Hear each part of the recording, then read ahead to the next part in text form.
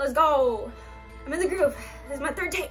Hello everybody, my name is Nerdiversal. Welcome back to another video. Um, it is with great remorse and great sadness that I announce that I'm back. You know your bitch couldn't miss the Halloween season, so here I am with a YouTube video about Halloween spooky stuff. For today's video, I'm actually going to be talking about uh, cryptids and monsters from urban legends and from stories around here. So the first one we have is the Fresno Nightcrawlers, and they're basically just like um, walking pants. I'll play the clip for you right here.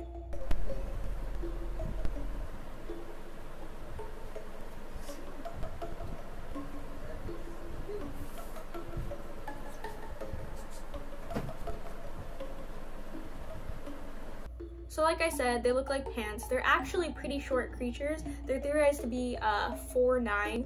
They've actually been sighted in Fresno and Yosemite National Park. But the crazy thing about this is, is that they say that it resembles the Caramel Area Monster. And what the Caramel Area Monster is, is, um, I don't know if you guys have ever seen Silent Hill, but it's that creature that, you know, walks around like that and like has muscular legs and like rib cage, no face, you know, whatever. So what I'm thinking is that the Caramel Area Monster and the Fresno Cryptid, but if it's the same monster, then that means that the Fresno Cryptid actually looks like the Caramel Area Monster and not like Pants. And the only reason that we don't, the only reason that we think that it looks like Pants is because of the bad footage that we got. Because if you look at the footage, it's not very good. You know, uh, surveillance footage is just like, you know, it does the bare minimum. So what we could actually be seeing is that creature with the legs and the head, but it's just not detailed enough to see that. And that's what spooks me because when I was younger and I used to hear about the Fresno uh, night crawlers, it's like, okay, well these aren't that spooky because they look like pants.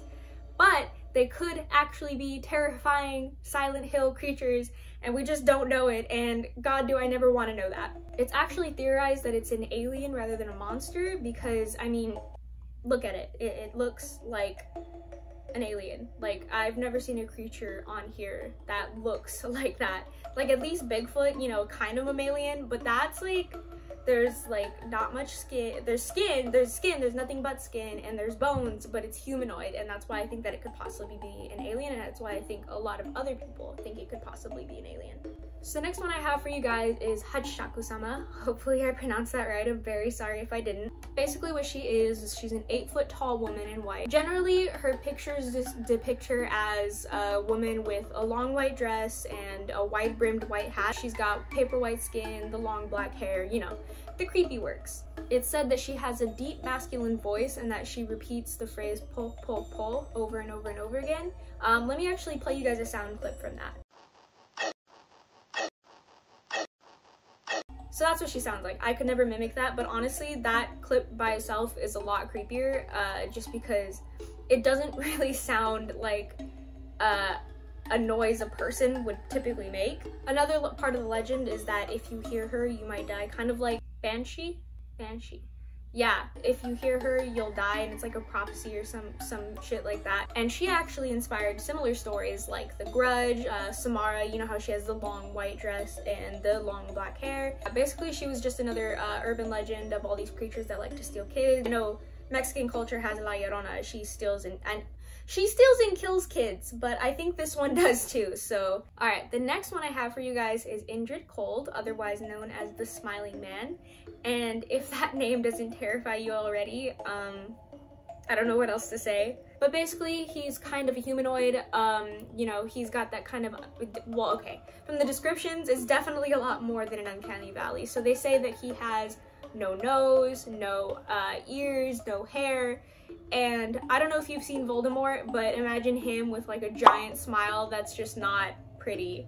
He's actually really tall too. He's six foot tall with a green suit. Um, he's actually theorized to be part of the Men in Black. The only thing that kind of detracts him from the Men in Black is the fact that he has a green suit and not a black suit. The Men in Black, I don't know if you've seen all the other conspiracy theories, but basically the Men in Black are supposed to be um, almost alien-like. They, like, they don't look like humans, they just wear black suits and they go conduct their official business, which is crazy because the thing with Men in Black is always supposed to be that they're against these conspiracies and against aliens and stuff like that, but what a lot of the theories say is that they are aliens or they're not human which is insane. He also has small black beady eyes that are set really far apart, so all this combined with the giant smile just creates nightmare fuel. Alright, so the first sighting was in, um, actually give me a second, I got my little notes right here. Uh, he was first sighted in October of 1966 in New Jersey, where a couple was chased by this thing. They were chased by him until eventually they lost him, which honestly is good. You don't want to be abducted by an alien that has a giant smile. The second sighting was a guy, he was driving along a road and he saw a crashed vehicle, except this crashed vehicle, from the way he describes it, doesn't look like a vehicle at all. He describes it as looking like, I believe it was an old-fashioned uh, fire lamp, which basically just kind of looks like a vase. And I don't know if you've ever seen cars before, but um, they don't look like vases. And so what he did is he, he, he got out of the car and he goes up to him and he says, hello, my name is Indrid Cold and I am here to survey humans, as if that sounds normal at all and not alien-like at all. But that's where he gets the name Indrid Cold as opposed to just the smiling man, which is what he looks like. And also the third sighting was this family, they were actually having kind of um, like supernatural happenings to them and what they thought is they thought it was a poltergeist. But one day this girl, she's sleeping and she's part of the family of course. She's sleeping and then she sees it looming above her. Like, I wouldn't want a regular man standing above my bed staring at me in the middle of the night, let alone the smiling man who has no nose, no eyes. Wait, he has eyes. No nose, no ears, no hair, and a giant fucking smile. Is terrifying. It's worth noting that these were all generally in the same area. The first one was in New Jersey and the last two were in West Virginia. I don't know what the time period was between uh, the second and the third sighting, but between the first two, uh, it was only about a month. So the second one I have is Lydia's Ghost. This one's actually kind of a little bit sad. This girl, it's not really known whether she was in high school or whether she was in college. She was coming home from a school dance and on her way home from the school dance, she got in a really horrific car accident and she died. And a couple years later is when people started to see sightings of her. So they would see this girl and she's walking along a bridge and as you do in the 1920s you pick her up you take her home. Different times you never know. So they would take her home and according to the story she would they would actually get to her house and they would knock on the door and they'd be like hey is lydia there? And she basically had to explain to them here's lydia. She died three or however many years ago and you just brought her home. The ghost but I think that's the really uh, terrifying part about this is that she's kind of stuck wherever she was at. They say that the main place to sight her is what they call Lydia's Bridge, which is basically where her car accident happened.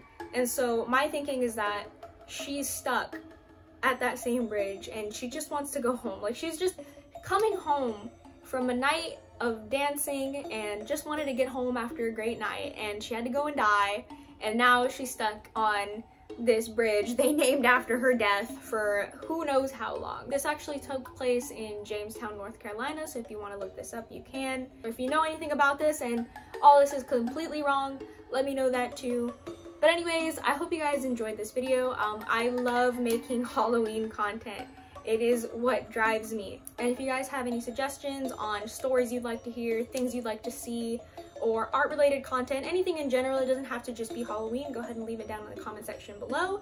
Um, and if you like videos like this, go ahead and hit subscribe wherever that is. I don't know, I don't pay attention to video layouts as much as I should. But yeah, go ahead and subscribe, go ahead and send me a like. Anyways, thank you guys for watching. Hope you guys liked this video. Love you guys, bye!